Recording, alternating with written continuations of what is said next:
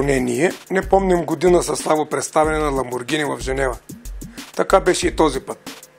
Звездата на штанда на марката от Санта Агата Болонезе беше този Huracan Performante.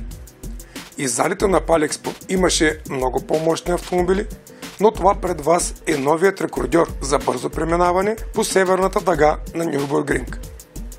Спрямо до сегашния първенец Porsche 918 Spider, ламбото се оказа по-бързо с цели 5 секунди, спирайки хронометрите на 6 минути, 52 секунди и една стотна.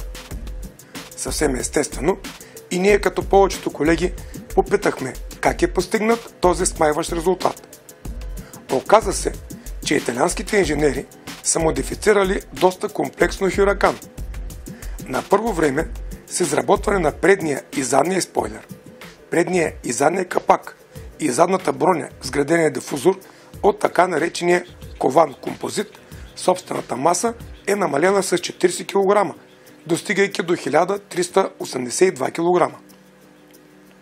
После е монтиран комплекс за активна аеродинамика, аеродинамика Lamborghini Activa с подвижни елементи в предната и задната броня. Към всичко изброено трябва да добавим и монтирането на новите танови клапани с увеличен ход и на новите смокателни и изпускателни системи в 5,2 литровия 10-цилиндров V-образен двигател. Това за момента е най-мощният агрегат на Lamborghini с увеличена от 610 на 640 конски сили максимална мощност и от 560 на 600 Нм максимален въртящ момент, които забележете са на разположение още при 1000 оборота в минута. С нови настройки е 7-степенната скорост на котия с два съединителя, а пълноприводното задвижване е с халдек съединител пето поколение и самоблокира се диференциал на задния мост. Режимите на движение са три – страда, спорт и корса. Направени са някои промени и по окачването. Монтирани са по-корави пружини, по-дебели стабилизатори за напречна устойчивост и нови сайлен блокове. В базовото оборудване Lamborghini Huracan Performante е с обикновени амортисьори, но като опция се предлагат такива с променлива твърдост с помощта на магниториологична течност.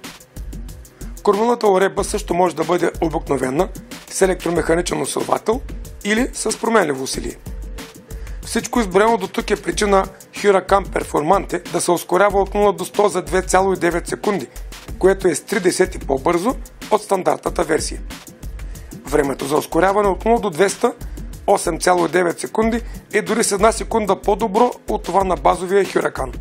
Максималната скорост е над 325 км в час, а за спиране от скорост 100 км в час на място са необходими 31 метър.